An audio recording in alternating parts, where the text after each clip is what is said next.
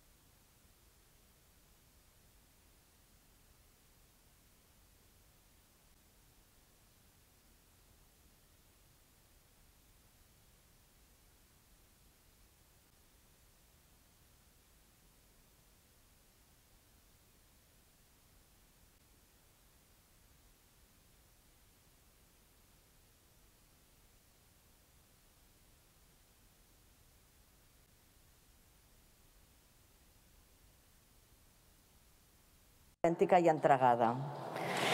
Desitjo i espero expressar tota l'emoció que he at barri de la Barceloneta.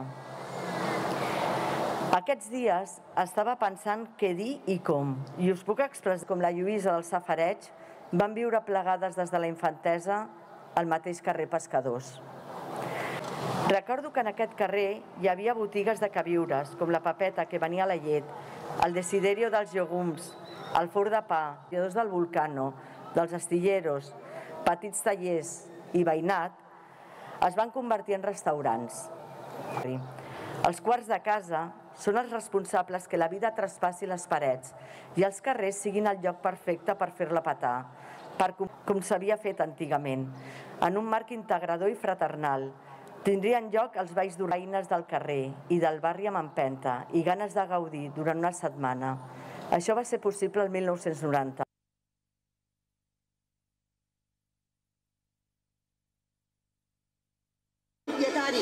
L'Ajuntament només ajudarà el que no tingui segons renta i pagarà un 99%. I aquest que poder l'ajuden a pagar. Que todo el plan de los ascensores era una entelequia que ya se había montado y que ya vería como la realidad no era así.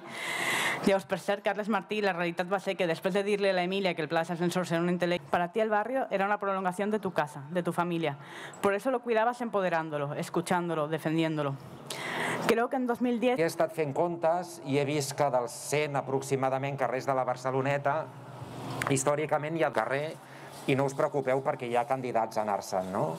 Tenim colonitzadors, militars, barons... Somos bastante intuitivas. Bueno, uh, moltes gràcies a totes i a tots per haver vingut. Pedimos al ayuntamiento una moratoria. Queremos participar en este proyecto. Tu casa es tu santuario. poden fotre fora a mi de vuit. No, no, vostè és propietari? No, no, no.